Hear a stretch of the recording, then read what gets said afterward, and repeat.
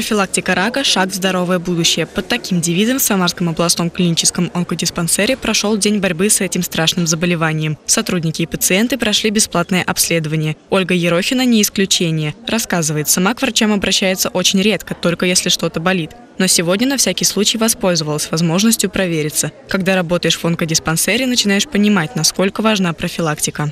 Эти исследования необходимы.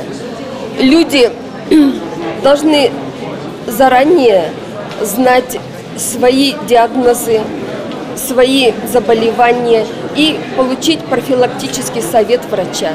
Зачастую незначительные изменения в самочувствии могут оказаться сигналами серьезных болезней, но на них редко обращают внимание. Кажется, что утомляешься и устаешь из-за работы. Хронический кашель и неспадающую температуру списывают на затянувшуюся простуду, а неожиданное снижение веса и вовсе повод для радости. Однако это все должно настораживать. Так как многие пациенты не знают свое здоровье, не знают э, о наличии каких-либо у заболеваний, и вот у нас проводят э, тест диагностика, экспресс-диагностика.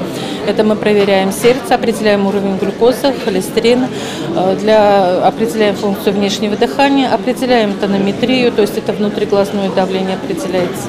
В прошлом году на учете в онкодиспансере числилось почти 100 тысяч пациентов. Из них около 16 тысяч человек впервые услышали из уст врача страшный диагноз. Но некоторые из них могли избежать болезни, если бы уделили время профилактике. Большинство э, случаев онкологических заболеваний, конечно же, мы можем предотвратить.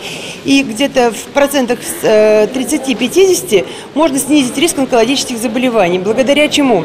Основными факторами э, проявления онкологических заболеваний являются составляющие нездорового образа жизни. В принципе, мы это можем изменить. Контролю не поддаются только возраст, пол и цвет кожи, поэтому врачи советуют примерно раз в год проходить профилактическое обследование. Предупрежден, значит вооружен. Анастасия Ерогина, Николай Сидоров. События.